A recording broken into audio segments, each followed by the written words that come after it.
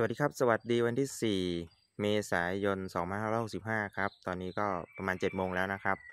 เดี๋ยวพามาอัปเดตสวนชายคาบ้านกันนะครับ ว่าต้นไม้เจริญเติบโตไปถึงไหน แล้วมีอะไรเพิ่มเข้ามาใหม่บ้างนะครับสำหรับเเดือนนี้ก็ผ่านมาเดือนที่ 4 แล้วเนาะนะครับ หลายๆ คนก็ยังถ้าเป็นใครเป็นที่สายคนเลี้ยงไม้นะครับ คนรักไม้ก็จะไม่ค่อยเท่าไหร่นะครับ แต่เป็นสายแบบพวกที่เป็นพ่อค้าแม่ค้า รายย่อยอะไรพวกนี้ก็จะมีปัญหาเรื่องเรื่องราคานะครับ เห็นพูดถึงเรื่องราคากันมาตั้งแต่ต้นปีจนผ่านมาเดือนที่4แล้วนะครับ ก็ยังยังพูดกันอยู่เลยนะครับ แต่ว่าถ้าใครที่อ่าเป็นกลุ่มที่เลี้ยงไม้สวยงามนะครับ ก็จะไม่ค่อยสนใจเท่าไหร่นะครับ ก็จะเป็นช่วงที่ดีที่มีการเก็บเข้ามาบ้างนะครับ แล้วก็ได้ปล่อยไม้ออกไปบ้างอะไรอย่างเงี้ยนะครับ ถ้ามีจำนวนนะครับ ก็เน้นประมาณว่าเน้นขิงไม่เน้นขายอะไรประมาณเนี้ยนะ มันก็เลยแบบนะครับ มีไม้เยอะแยะไปหมดเลยนะครับ ช่วงนี้ที่น่าจับต้องได้นะครับ ไม้สวยๆเยอะนะครับ ทุกตัวมีเอกลักษณ์ของมันนะครับ อยู่ที่ว่าเรามองที่มุมไหน ถ้าเรามองที่ราคาอย่างเดียวนะครับ เราก็อาจจะไม่สบายใจที่เราจะปลูกต้นไม้นะครับ แต่ถ้าเรามองที่ความสวยงาม เราก็จะมีความสุขกับการที่ได้อยู่กับมัน แล้วก็ดูการเจริญเติบโตดูพัฒนาการความเปลี่ยนแปลงของมันไปตลอด นะครับโอเคครับเดี๋ยวพามาดูกันนะครับ ต้นแรกนะครับสีดำต้นนี้พุ่มใหญ่ๆ ต้นนี้เป็นเจ้าไม้สามัญประจำบ้าน Colocasia Black Opal นะครับ ทุกบ้านส่วนใหญ่ก็จะมีนะครับ ของผมก็จะประมาณนี้ ก็มีช่วงที่มีลมพายุมา ผมก็เอาพวกเชือกฟางมามาล้อมไว้สักนิดนึงนะครับ ให้ใบเขาได้มีการพยุงกันเองเพื่อสู้กับลมนะครับ มีการตัดหน่ออะไรก็แยกๆไว้ มีต้นตั้งแม่ด้วยนะครับ สูงประมาณเมตรกว่าๆนะครับ ถ้าใครอยากได้ก็ลองทักมานะครับ นี่นะครับ กระถางแยกไว้แล้ว แยกอันนี้แยกชำไว้นานมากแล้วครับ ใบใบที่ออกมานี่ก็เป็นใบใหม่ละนะครับ แยกชำไว้นานละมีลูกติดหนึ่งหน่อกระถางนี้กระถางแปดนิ้วนะครับอันนี้สูงน่าจะเมตรกว่าๆแล้วนะครับ ต้นสูงเมตรกว่าๆแล้วนะครับ ถ้าใครอยากได้แบ็คโอบอตั้งแม่ทักมานะครับ อืมนะครับ แล้วก็พวกลูกๆก็มีอยู่ เยอะนะครับ ต้นถัดมานะครับ ต้นนี้เป็นอิเล็กทริกบูเคโก้นะครับ ตัวนี้เป็นนิวนะครับ ตัวนิวตัวพัฒนาสายพันธุ์แล้วนะครับนี่มีรอยตะกะแตนไล่ไถเอ่อไล่ไถใบอยู่หน่อยหนึ่งนะครับ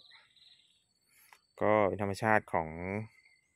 ต้นไม้นะครับนี่ อิเล็กทริกบูนะครับอิเล็กทริกบูนะครับกำลังเจริญเติบโตนะครับ ขอบใบริ้วๆนิดนึง ใบมีความเหลือบนะครับใบมีความเหลือบเริ่มใหญ่แล้วนะครับ เริ่มใหญ่แล้วอันนี้เอามาตอนสองใบแล้วผมก็มีการตัดใบที่มันมันหายไปตรงเนี้ยนะครับ ตอนมันโดนลมโดนพายุนะครับ ฝนลมแรงมากนะครับ ใบมันแตกพอใบแตกผมก็ตัดออกเลยนะครับ เพราะมันไม่สวยไม่สวยก็ตัดออกแค่นั้นเองนะครับ แล้วก็รอใบใหม่หลอดใหม่ก็กำลังมานี่นะครับ แล้วก็ลูก ตัดแยกๆมามี คนเอาไปแล้วก็มีนะครับ แล้วผมก็ตัดชำไว้นะครับ ถ้าใครอยากได้นะครับ ก็ต้นเนี้ยนะครับทักมาแล้วกันชำติดแล้วล่ะครับชำติดแล้วนะครับชำติดแล้วได้สักประมาณตัวนี้ชำได้ประมาณน่าอาทิตย์กว่าๆแล้วได้อาทิตย์หนึ่งแล้วนะครับ เลี้ยงเอามาเลี้ยงแดดแล้วเอามาไล่แดดแล้วนะครับ ก็ถ้าไม่มีใครรับก็จะเอาไปตั้งแม่เหมือนเดิมนะครับ แต่ถ้าใครสนใจก็ลองทักมาแล้วกันลองมาถามแล้วกันนะครับโอเค ต่อมานะครับ หน้ายับยับนะครับ ใบยับยับแบบนี้มีต้นลูกต้นใหม่นะครับ ก้านแดงแดง Black Ripple นะครับ Black Rippleอันนี้เป็น Black Ripple นะครับ อืมนะครับกำลังจะโตนะครับ Black Ripple มันของผมมันจะโตช้าหน่อยนะครับช้าหรือเปล่าไม่รู้แหละ แต่ต้นประมาณเนี้ยนะครับประมาณเก้าสิบเซนเนี่ย นะครับเนี่ยนะครับ Black Ripple ก็เริ่มมีมีลูกมาแล้วละเริ่มเริ่มให้ลูกแล้วเริ่มจ่ายลูกมาแล้วนะครับ เป็นหน่อชิดแม่เหมือนกัน ยังไม่ได้ตัดเลยนะครับอืมต่อมานะครับ หน่อเดียวกันอ่าข้างๆกันนะครับ Black Sapphire Gecko นะครับ ใบก็จะประมาณนี้นะครับนี่ Black Sapphire Gecko นะครับ ใบก็จะประมาณนี้นะครับ ใบเก่าๆมีอาการต้นเดียวกันนะครับ ต้นเดียวกันแต่แต่กลับว่ามียับเฉยเลยนะครับ มีมีมีรอยยับอยู่นะครับ กลายเป็นใบเหมือนในคล้ายๆเจ้า Black Ripple ได้ซ้ำแต่ว่าพอจับดูแล้วก็ดูอะไรต่างๆ ไม่ไม่เหมือนกัน เพราะว่าความใบความแข็งความกระด้างอะไรก็ต่างกันนะครับ หลังใบก็ไม่เหมือนกัน นะครับ เหลือบสีหลังใบก็ต่างกันอยู่นะครับ อันนี้อะไรเอ่ยใยแมงมุมนะครับ คิดว่าไอ้ใยหนอนที่มันชอบมาไข่แล้วก็เป็นใยอะนะครับอ่านะครับ Black Sapphire Gecko นะครับ ก็มีลูกอยู่นะครับ มีลูกอยู่แต่ไม่ได้ตัดเลย ไม่ได้แยกเลยดูดินะครับ ไม่ได้แยกเลยนะครับ เออมีต้นมีต้นที่แยกไว้อยู่นะครับ มีต้นที่แยกไว้อยู่นะครับ มีต้นที่แยกไว้อยู่อ่าสอบถามได้นะครับ สอบถามได้สำหรับ Black Sapphire Gecko นะครับเป็นไม้เจ้าปัญหาอีกตัวหนึ่งที่มักจะแบบชอบสะสมกันอ่าแล้วก็มีความสับสนด้วยในการดูนะครับ โอเค ต่อมานะครับโคโลเกเซีย ทีปาร์ตี้นะครับ ตัวนี้พัฒนาสายพันธุ์ตัวเริ่มเลยใบใหญ่เริ่มเลยใบใบเป็นศอกแล้วนะครับ เป็นก้านสีแดงชมพูนะครับทรงถ้วยน้ำชานะครับ หลังใบก็จะเป็นสีกระดูกใบชมพูแบบเนี้ยนะครับหลังใบสีแดงแล้วก็เป็นไม้สายดำนะครับ ใบออกมาใหม่จะยังเขียวอยู่นะครับเนี่ยอย่างอย่างใบใหม่ก็ยังจะเขียวแบบนี้ แล้วก็พอโดนแดดไปเรื่อยๆ มันก็จะดำเข้มขึ้นเรื่อยๆนะครับแบบนี้ นะครับทีปาร์ตี้มีลูกอยู่ มีลูกอยู่เยอะนะครับ ใครสนใจทีปาร์ตี้ทักมาได้นะครับนี่ประมาณนี้นะครับ ต้นกระถางนี้มีเจ้าของแล้ว เดี๋ยวรอส่งให้พี่เขานะครับเลี้ยงไว้ให้อยู่ตอนนี้ก็มีสองหน่อแล้วนะครับหนึ่งต้นกับอีกสองหน่อหนึ่งต้นที่ตัดแล้วก็มีสองหน่อแตกมานะครับ เดี๋ยวรอส่งให้ลูกค้าต้นนู้นด้วยนู้นก็มีลูกค้าแล้วนะครับ จ่ายเต็มจำนวนเรียบร้อยที่เหลือก็ล่อลากไว้แล้ว ถ้าใครสนใจทีปาร์ตี้นะครับมีนะครับต้นใหญ่ ๆ เลยต้นเป็นฟุตกว่าๆเลยนะครับ อันนี้ก็มันล้ม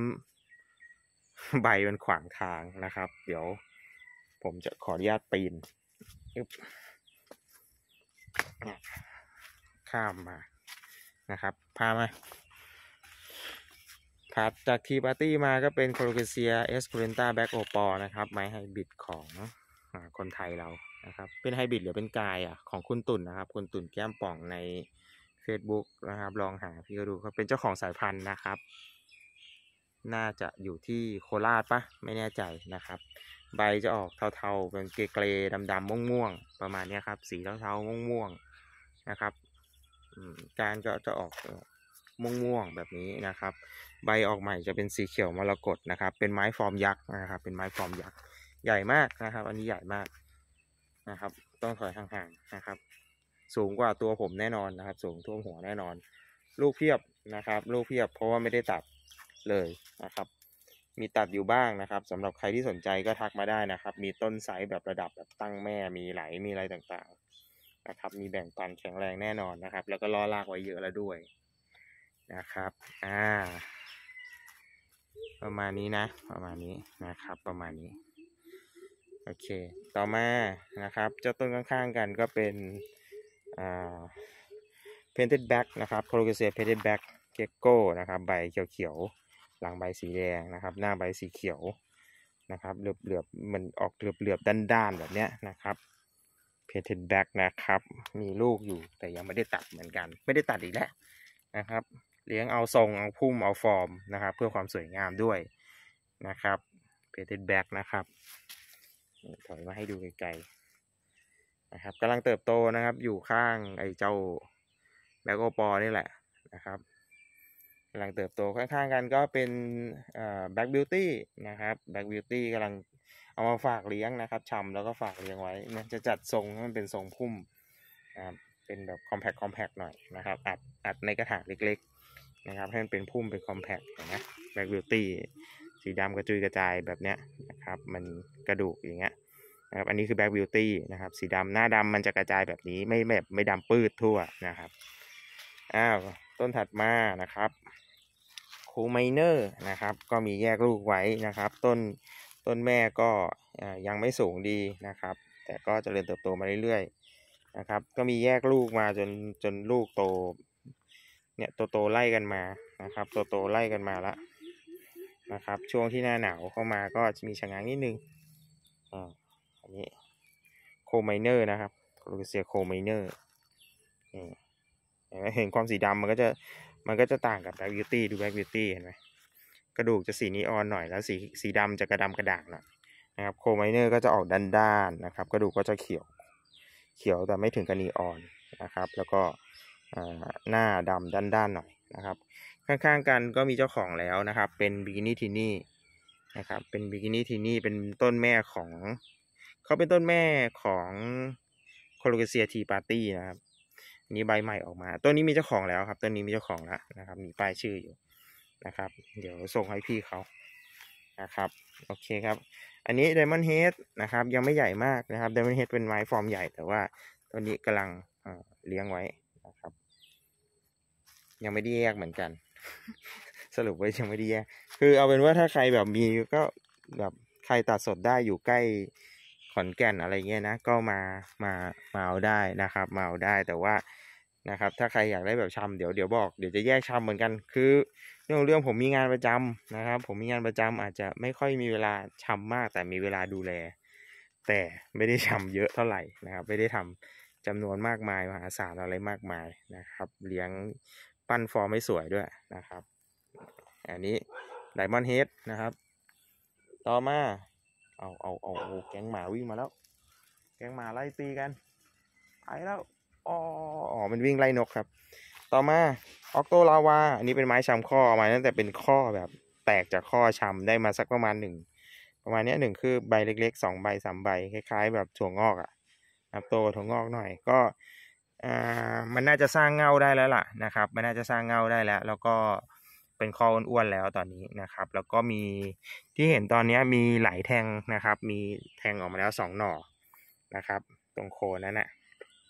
ออกโตลาวาลาวาแปดสายนะครับ ไม้ไฮบริดของไทยเราอีกแล้ว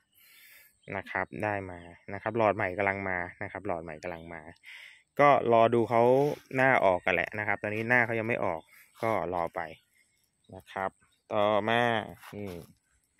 ไม้อยู่ของมันปกติ แต่คนเราก็ทำให้มันเป็นเรื่องเป็นราวได้นะครับ โดยการปั่นราคากันไปปั่นราคากันมา Colocasia นะครับ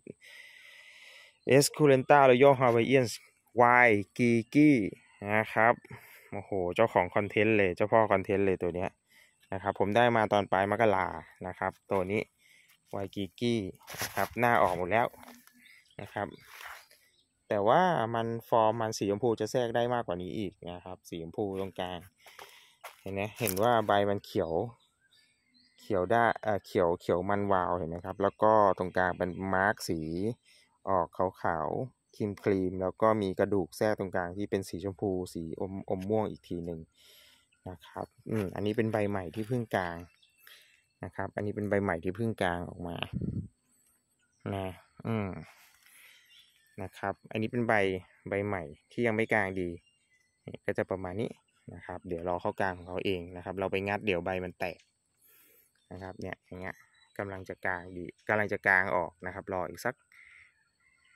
อ่าอีกสักแบบสองสามวันสี่วันประมาณนี้ให้มันกลางแบบ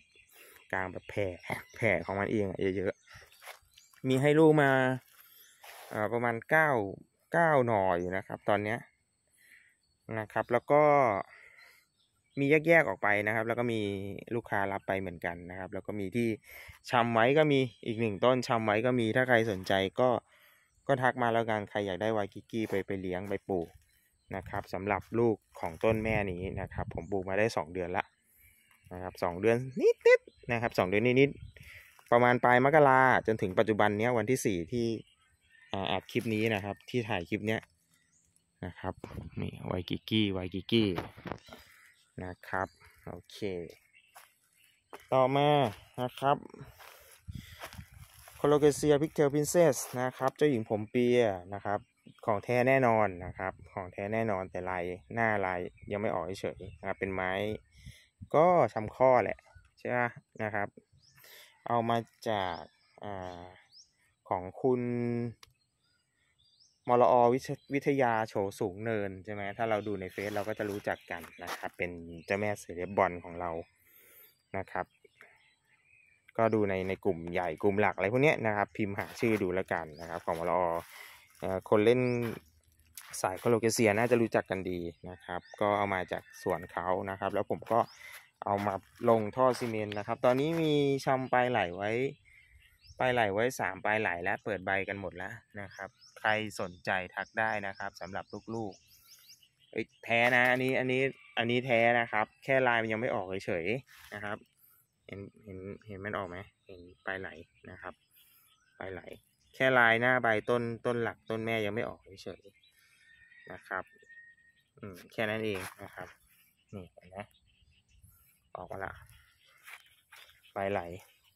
นะครับ ใครสนใจก็แบ่งอยากได้เอาไปเลี้ยงสวยงามทักได้นะครับ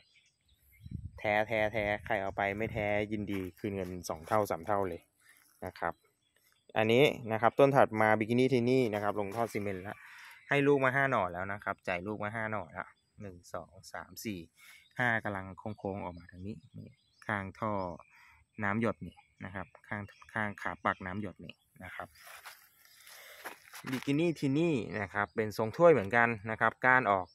คำคำดำๆนะครับเป็นสีวายแดงม่วงเข้มนะครับ กระดูกหลังใบก็จะสีม่วงเข้มแบบนี้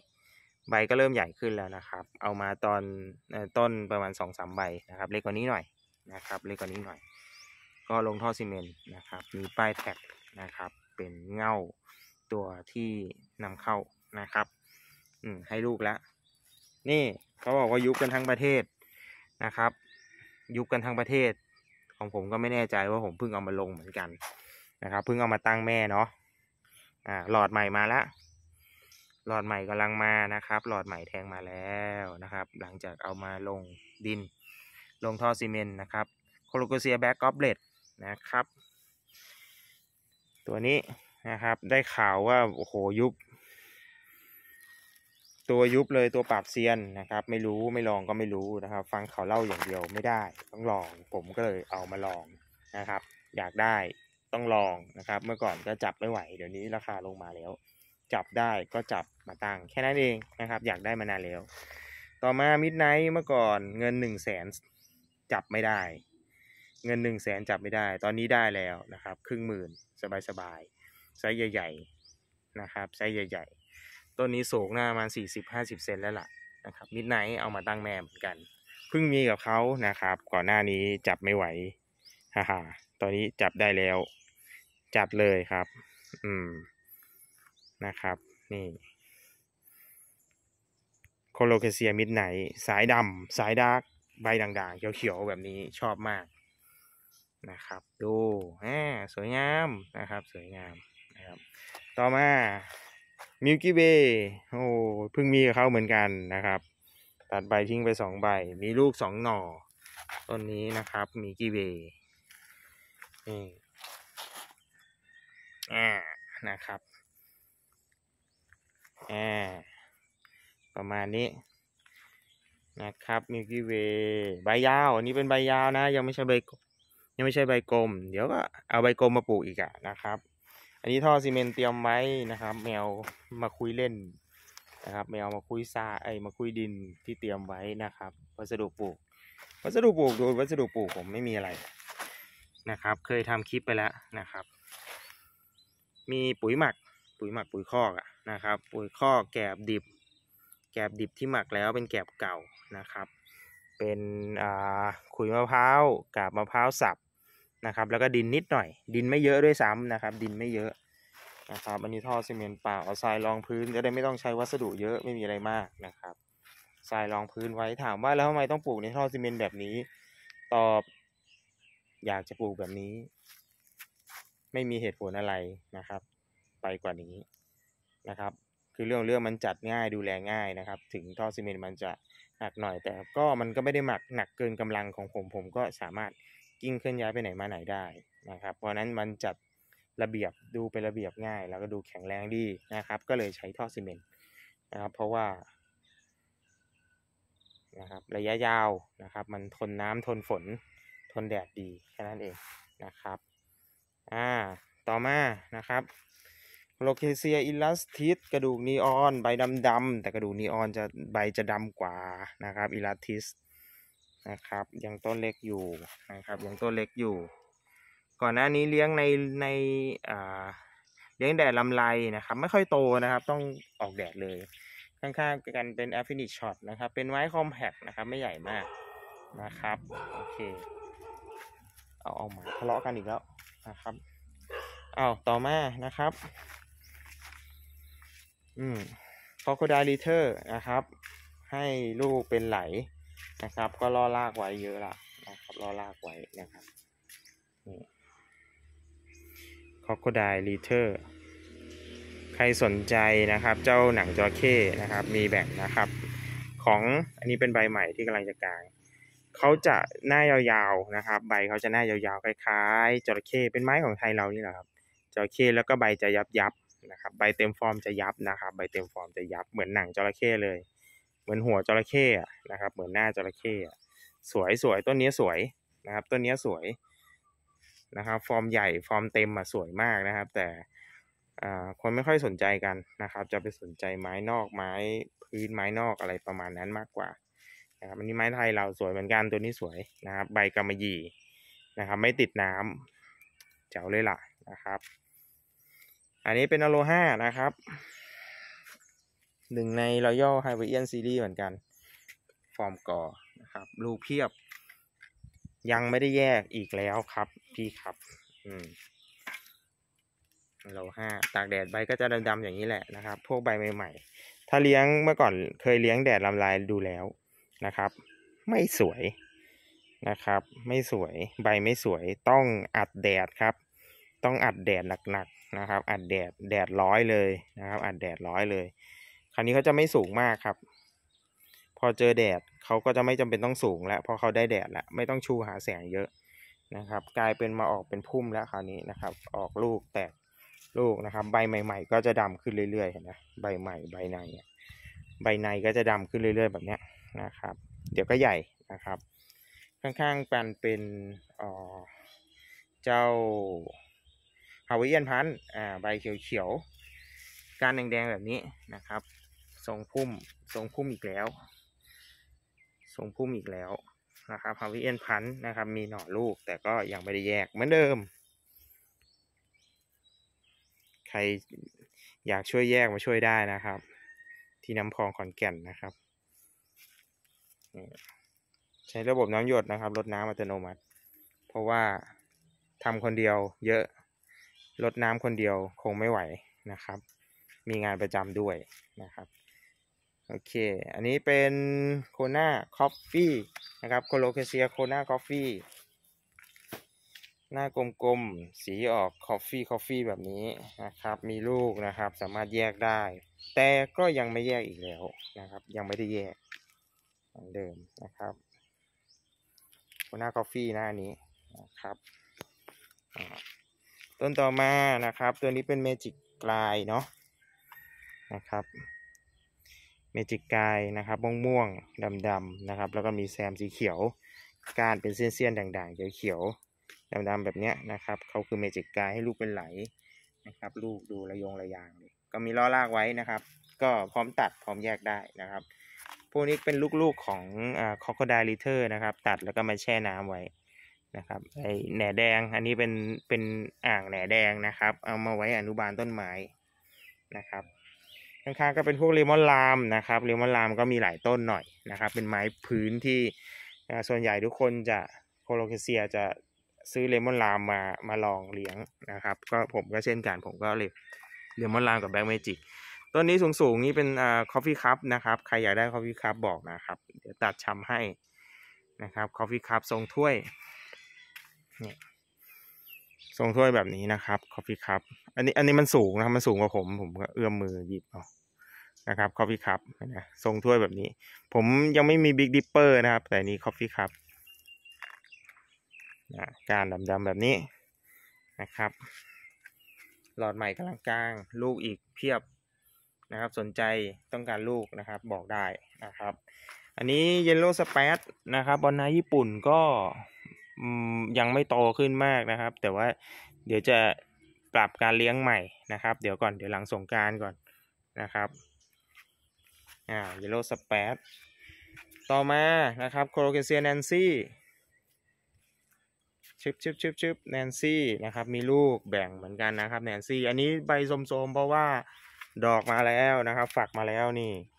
ฝักเริ่มมาแล้วนะครับ ฝักเริ่มมาแล้ว เขาก็จะโสมเป็นธรรมดาของโคโลเกเซียครับ แต่ก็ต้นลูกๆก็มาแล้วล่ะ ต้นลูกๆก็มาเยอะแล้วนะครับ ต้นลูกให้ลูกมาเยอะแล้วนะครับ มีแบ่งนะ Nancy Colocasia Nancy's Revenge นะครับ Maui Sunrise หนึ่งใน Royal Hawaiian Series เหมือนกันนะครับสำหรับเจ้า Maui Sunrise อ่านะครับ ต่อมาอาแสงหายอ่าต่อมา Maui Sunrise นี่นะครับ ยังไม่ได้แยกนะครับ ยังไม่ได้แยก topical storm โดนฝนเข้าไปกลายเป็น topical storm ลายฉลุ นะครับ ใบแตกเลยนะครับ แต่ใบใหม่ก็โอเคอยู่นะครับมีเปิดใหม่ เปิดใหม่ก็เริ่มมาละนะครับ มีดึงใบทิ้งไปเยอะเลย เพราะว่าโดนฝน ใบเขาอ่อนนะครับ ใบเขาอ่อนแล้วก็ฟอร์มก็ไม่ได้ใหญ่มากมายเหมือนพวกฟอร์มยักษ์นะครับ ก็แตกเลยนะครับโอเค นี่โมฮิโต้นะครับสองต้นข้างกันใหญ่โตตามกันนะครับโมฮิโต้หลายคนรู้จักกันดีนะครับ เป็นไม้ ที่ทุกคนชอบอยากได้เลี้ยงนะครับ ทรงพุ่มทรงกอทรงป่าเหมือนเดิมนะครับ Black coral ทรงต้นใหญ่อ้าวใบนี้ไม่ได้ตัดออกใบเก่าแล้วเดี๋ยวตัดออกได้นะครับอันนี้นะครับ Black coral ฟาโลมีอยู่สามต้นนะครับ สวยๆเลยอ่านะครับฟาโลสามต้นแม่ ฟอร์มป่านะครับ ฟอร์มป่า ยังคงสวยอยู่เหมือนเดิมนะครับฟาโลไม่เคยเปลี่ยนแปลงนะครับ มีแต่คนเราเท่านั้นแหละที่มาทำให้มันดูแบบว่าไม่ได้ไม่น่าสนใจนะครับผมก็ว่ามันสวยเหมือนเดิมอะนะไม่เห็นแบบราคามันเปลี่ยนแปลง เอ้ยนี่น่ารักนะอ่ามาขอใส่มาขอใส่นะครับ แล้วก็ นี่นี่นี่นี่นี่นี่อันนี้ไวลาวานะครับ ไวลาวา ไวลาวามีหน่อนะครับ ก็มีล่อรากไว้แล้วด้วย แล้วก็ที่ยังไม่ได้ล่อรากก็มีอีกเยอะเลยนะครับกำลังออกดอกแล้วไวลาวาออกดอกแล้วนะครับนี่เดี๋ยวจัดกันเดี๋ยวจัดกันเดี๋ยวได้จัดนะครับ พวกนี้ก็เป็นพวกฟิโลอ่าอีพินะครับด่างขาวกำลังอยากได้ Yellow Frame Number One มาเหมือนกันนะครับ อันนี้ไหลขาวตากแดดตากฝนเลยนะครับนู่นสูงท่วมหัวแล้ว ไหลขาวไม่ได้ตัด อันนี้เจ้าอ่าพาราโซนะครับพาราโซสูงท่วมหัวเลยนะครับ ยังไม่ได้ตัดนะครับ ไม่ได้ตัดด้วยแล้วก็ไม่คิดจะตัดด้วยนะครับสำหรับพาราโซต้นใหญ่นะครับ เลี้ยงไว้นะครับ มีลูกๆเยอะนะครับ อันนี้ทีปาร์ตี้มีเจ้าของแล้วเปิดประมูลไป ลูกค้าได้ไปละนะครับ ทีปาร์ตี้ต้นนี้พร้อมกับลูกสามอย่างคุ้มในราคาที่อย่างคุ้มนะครับ อ่านี่นี่นี่สำหรับไวกิกี้ใครอยากได้มีต้นที่ชำไว้นะครับต้นนี้ ใครสนใจทักได้นะไวกิกี้ต้นนี้นะครับ สนใจใครสนใจทักมาได้นะครับต้นเนี้ยอ่าสามห้าสามห้ารวมส่งสามห้ารวมส่งนะครับ ถ้าใครสนใจนะนะครับ โอเค แล้วก็ต้นอื่นนะครับที่เป็นลูกๆของเจ้าฟาโลก็มีนะครับแบคโคลอนมีเยอะแบคโคลอนมีมีมีจำนวนอยู่บ้างนะครับอย่าไม่ได้เยอะอะไรมากมายอ่าอันนี้โมฮิโต้ที่ชำไว้นะครับโมฮิโต้ที่ตัดมาชำไว้ชำต้นสองต้นอ่าอันนี้ Waikiki อีกต้นหนึ่งนะครับ ที่เอามาชำโคนชำสองแบบนะครับ อันนี้ชำดินแห้งนะครับ อันนี้ชำดินแห้งนะครับ กับต้นนี้มีเจ้าของแล้วนะที่มีป้ายสีขาวเดี๋ยวจะส่งให้พี่เขาอยู่นะครับ ส่วนในนี้ชำโคนนะครับชำได้เหมือนกันนะครับ Colocasiaอะประมาณนี้พาดูประมาณนี้นะครับ เลี้ยงไม้เลี้ยงให้สนุกครับ ราคาถ้าเราจับไหวเราก็จับ ถ้าจับไม่ไหว ก็เอาไว้ก่อนนะครับ อย่าไปใส่ใจนะครับ เรื่องราคาอะไรกันมากจนเกิน ความสวยงามของไม้จนลืมว่าเราเข้ามาเลี้ยงไม้เพื่ออะไรนะครับ เพื่ออะไร ถ้าเลี้ยงเพื่อความสวยงามเลี้ยงเพราะชอบนะครับ เลี้ยงไม่เถอะนะครับ เลี้ยงไม่เถอะนะครับ แต่ว่าถ้าเป็นกลุ่มเลี้ยงขายนะครับ เป็นอาชีพหลักก็ว่านไปก็มีผลหน่อยนะครับ มีผลหน่อยนะครับ แต่สุดท้ายแล้วเวลาจะคัดกรองผู้ที่รักต้นไม้จริง ๆ ให้เหลืออยู่ แค่นั้นเองครับ พวกที่เป็นกลุ่มพวกเก็งกำไร ปั่นราคาอะไรต่างๆ พวกที่เป็นพ่อค้าคนกลางซื้อมาปั่นราคาขายไปอะไรเงี้ยมันก็จะไม่มีแล้วนะครับยิ่งโดยเฉพาะกลุ่มที่เป็นพวกซื้อมาขายไปเลี้ยงให้แตกใบสองใบเหมือนสมัยที่ยุครุ่งเรืองของฟาโรนะครับเลี้ยงมาเป็นหน่ออ่าซื้อมาเป็นข้อพอแทงหน่อขายได้อีกราคาหนึงอะไรเงี้ยเดี๋ยวนี้ก็ไม่มีแล้วล่ะนะครับ ไม้ก็กลับไปอยู่ในจุดเดิมของมันแล้วนะครับ เจ้า เนี่ยโมฮิโต้เนี่ยก็หลักพันนะครับหลักพันอะไรประมาณเนี้ยหลักพันนะครับแบคโคลอนหลักพันเนี้ยนะครับจับต้องได้แล้วนะครับไม้อยู่ในราคาเกณฑ์หลักพันประมาณเนี้ยแหละนะครับสนใจก็ทักมาแล้วกันนะครับถ้าอยากได้ต้นไหนคุยกันไม่ซื้อไม่เป็นไรคุยได้ถามได้นะครับว่าเฮ้ยเลี้ยงยังไงทำไมเป็นพุ่มก็เป็นพุ่มดีก็ไม่ได้ตัดอะ นะครับนะครับ โอเคครับโอเคครับ ประมาณนี้ครับ พาชมสวนชัยคาบ้านประจำเดือน เมษายนปีใหม่ไทยของเรานะครับ วันหยุดยาวนะครับ พักผ่อนให้เต็มที่ชาร์จพลังให้เต็มที่มีความสุขกับการเลี้ยงต้นไม้ครับพี่ๆครับ สวัสดีครับบ๊ายบาย